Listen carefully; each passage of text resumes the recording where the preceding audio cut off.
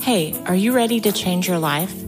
If the answer is yes, there's only one rule. You have to change your mind first.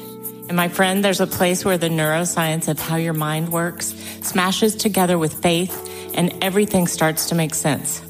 That place is called self brain surgery. You can learn it and it will help you become healthier, feel better, and be happier. And the good news is you can start today. Thanks, Lisa. Hey, so glad to have you listening today. I'm Dr. Lee Warren, and I live in Nebraska in the United States of America with my incredible wife, Lisa, my father in law, Tata, and the super pups, Harvey and Lewis. I'm a neurosurgeon and an author, and I'm here to help you harness neuroscience, the power of your brain, faith, the power of your spirit, and good old common sense to help you lead a healthier, better, happier life. Listen, friend, you can't change your life until you change your mind, and I'm here to help you learn the art of self brain surgery to get it done. If you like the show, please subscribe so you never miss an episode and tell your friends about it. If you tell two or three friends this podcast was helpful to you, imagine how much good we can all do around the world together. I'm Dr. Lee Warren and I'm here to help you change your mind so you can change your life. Let's get after it. Good morning, my friend. And I just have a quick uh, little thought for you today. This is self brain surgery tip number 10. No is not a cuss word. You need margin and space to be efficient and do the things to commit to well. It's better to say no kindly than to say yes and then let more important things suffer. Look, we all do this. We, we get asked something and somebody asks us something and we're kind of caught short and we don't want to disappoint people. So we say yes. And then we end up having to change our minds later or we have to do something that's taking away from something else that we really needed to do more because we think that we have to please everyone all the time. And there's a song by Meghan Trainor. It's totally out of context here, but she says this. My name is no. My sign is no. My number is no. Mm. You need to let it go. Mm. You need to let it go. Mm. Need to let it go. Nah to the to the no, no, no. See that? You need to say no sometimes. You need to say nah to the ah to the no, no, no. It's okay to just say no because no, people would rather you tell them the truth and keep your word than to say yes to something that they get expecting you for and then you don't show up or you're late or you're rushed or you don't do a good job or, you, or you're begrudgingly keeping that promise to them.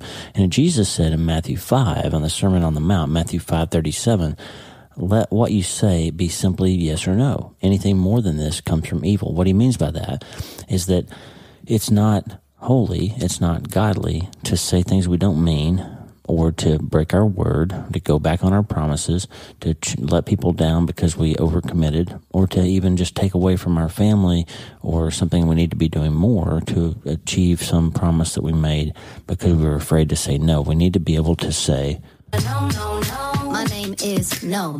My name is no. Sometimes you need to say no, friend. It's okay to say no. No is not a cuss word. Self brain surgery tip number 10 no is not a cuss word. You need margin and space to be efficient and do the things to commit to well. It's better to say no kindly than to say yes and then let more important things suffer. You want to do the things that you commit to well. You don't want to overcommit. You don't want to let your yes be something other than yes and your no be something other than no. Tommy Walker and his friends just released a new album, Generation Hymns 3, and they did a, a take on the old song, Standing on the Promises. Now, God is the only one that's ever made a promise that, that ever has never broken one of his promises. And so think about that for a minute. Before you make a promise, say the holy no if you can't really keep it.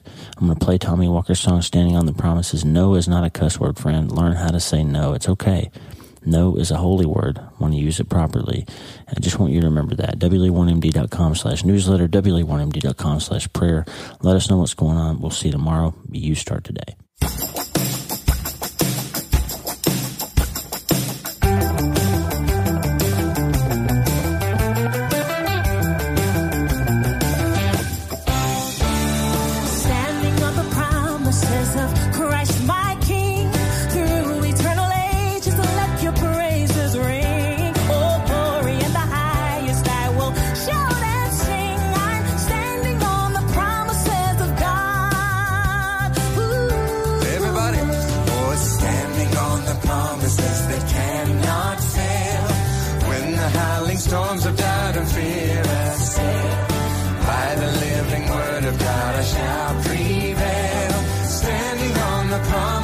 of God.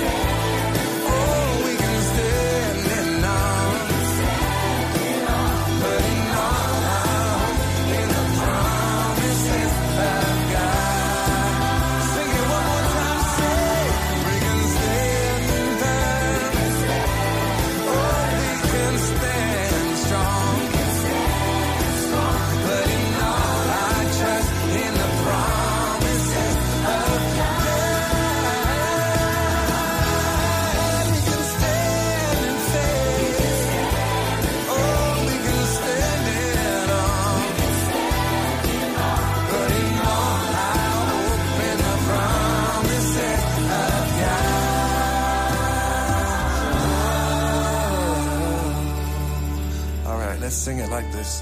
Standing on the promises I cannot fall. Listening every moment to the Spirit's call. Resting in my Savior